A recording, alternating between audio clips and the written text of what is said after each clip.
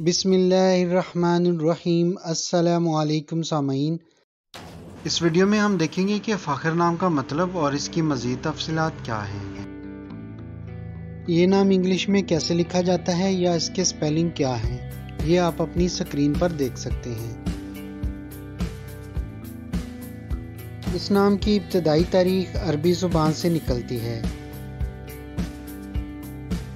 मज़हब है मुस्लिम। यानी इस नाम का शुमार इस्लामी नामों में किया जाता है। जिन्स है लड़का, यानी इस नाम का शुमार लड़कों के नामों में किया जाता है। फ़खर की उर्दू मायनी है नाज, गरूर, फ़खर, जलाल, जबकि इंग्लिश मीनिंग है प्राउड, ग्लोरी। फ़ाखर नाम का मुमकिन तौर पर ज़्यादातर इस्तेमाल जिन ममालिक में किया जाता है, उसमें सरफरिस्त है लिबनान, नंबर दो पर है पाकिस्तान और नंबर तीन पर है सऊदी अरेबिया।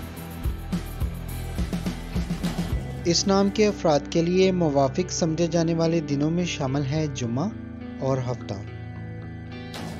नंबर सात को इस नाम के अफराद के लिए मुवाफिक समझे जाने वाले नंबरों में शुमार किया जाता है। जबकि लोहा को इस नाम के अफराद के लिए मुवाफिक समझे जाने वाली दातों में शुमार किया जाता है। और इस नाम के अफराद के लिए मुवाफिक समझे जाने वाले रंगों में शामिल हैं नीला, बनफशी और काला। नीलम नामी पत्थर को इस नाम के अफराद के लिए मवाफिक समझे जाने वाले पत्थरों में शुमार किया जाता है।